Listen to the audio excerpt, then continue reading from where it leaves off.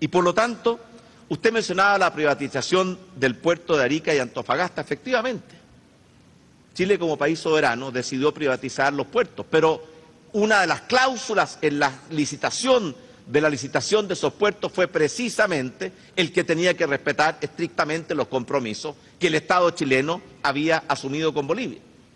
Y por lo tanto, ni una de las condiciones que el Estado chileno había asumido como compromiso con Bolivia se ven afectadas porque la administración de los puertos pueda estar en manos privadas.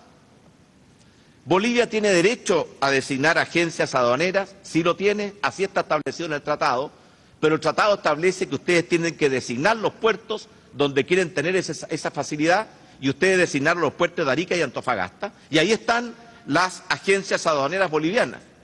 Y hace poco tiempo atrás se planteó la idea de que también se incorporara Iquique, a lo cual Chile accedió de inmediato, preparamos las bodegas, cumplimos con todas las condiciones que el tratado exige para un puerto designado por Bolivia y estamos a la espera de que Bolivia entregue los documentos para que ese puerto que está habilitado en Iquique en beneficio de Bolivia pueda ser utilizado por Bolivia. Usted menciona también el tema del gas.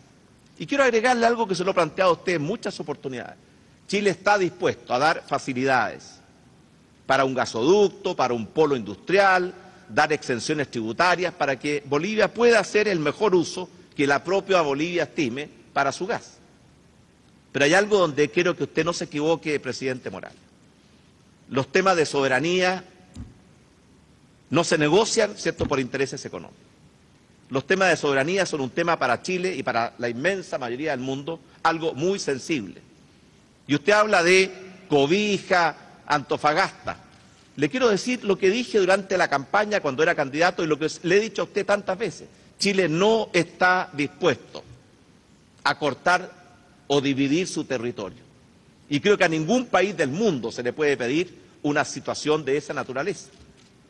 Sí estamos dispuestos y siempre hemos estado dispuestos, a través del diálogo, la buena voluntad y la colaboración, a encontrar facilidades.